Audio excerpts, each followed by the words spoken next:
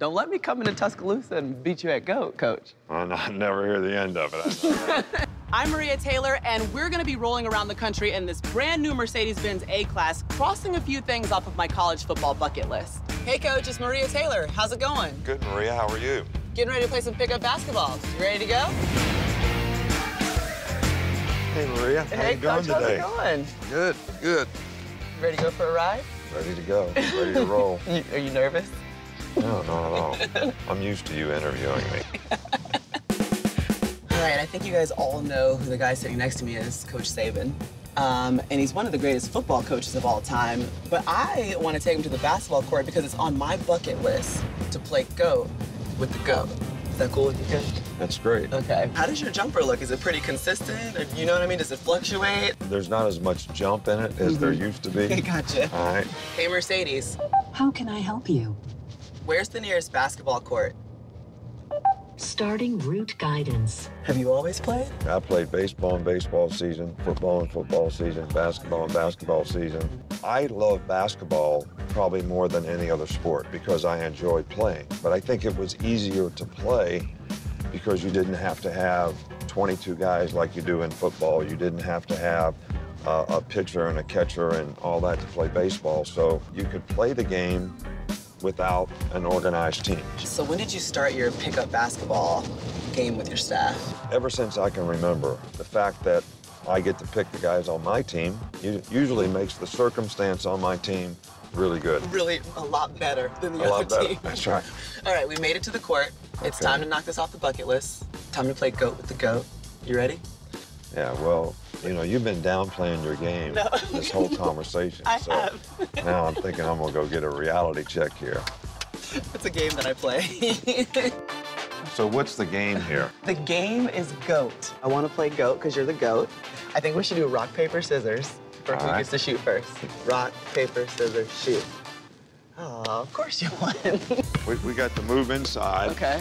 And I guess I have to shoot. Oh, yes. So who were you So- pretending to be when you were out in the backyard playing basketball?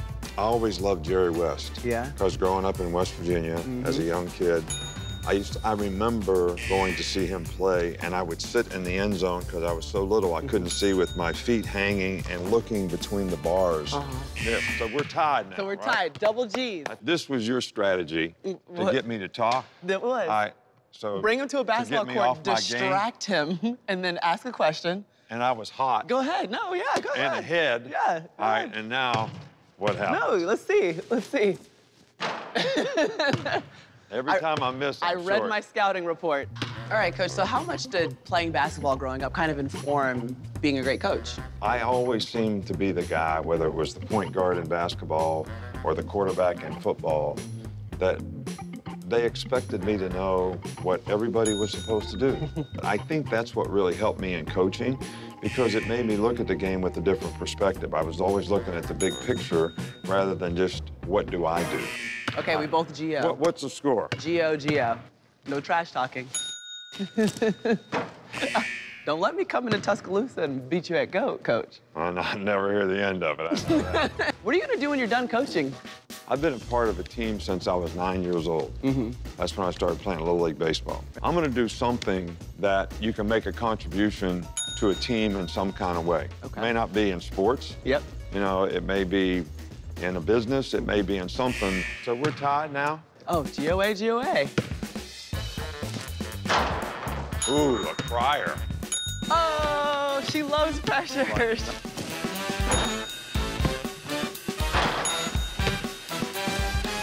That was me trying to trash talk.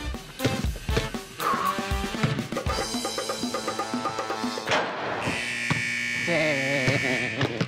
He got me. You got to win with class. Coach, I appreciate you letting me scratch something off my bucket list. I played GOAT with the GOAT, although you did beat me. I feel like you could have let me win. No? well, the competition was fun. I enjoyed it. And I just want you to enjoy your Mercedes-Benz. Okay, I'll give you a ride back. Come on. right, thank you.